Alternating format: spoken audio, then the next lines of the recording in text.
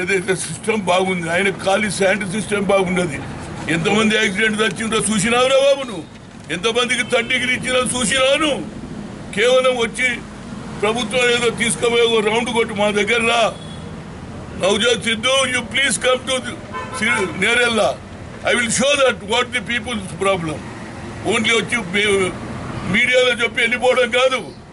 రా రిక్వెస్ట్ చేస్తున్నా. Let them you can come and see the ground reality what is going on Nerella what is going Sirisilla how sand mafia ఒక lorry నాలుగైదు ఒకే AP మీద నాలుగు లారీలు పోతున్నాయి.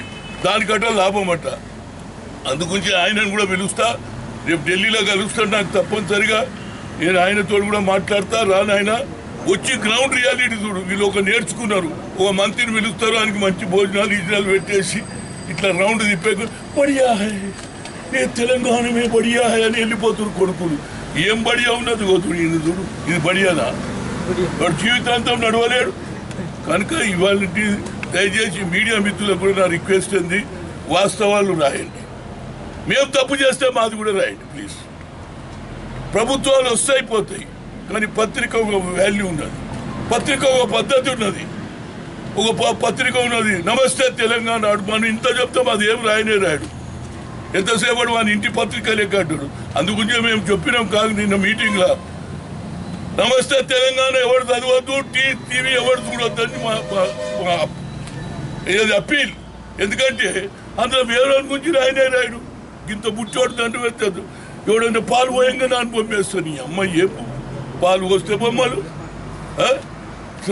చచ్చిన వాళ్ళ గురించి ఏం రాయడు? దెబ్బలు తిన్న వాళ్ళ గురించి రాయడు. నేను ఇంతసేపు మాట్లాడుతున్నా రేపు ఏమొస్తుందో చూడు.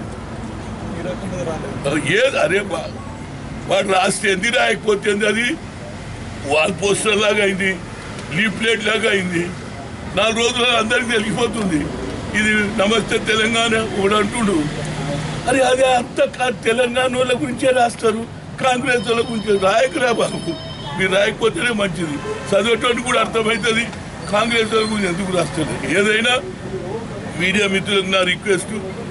ఈ నేరేళ్ళ ప్రజలకు న్యాయం జరిగే వరకు మా పోరాటం కొనసాగుతుంది. ఓకే?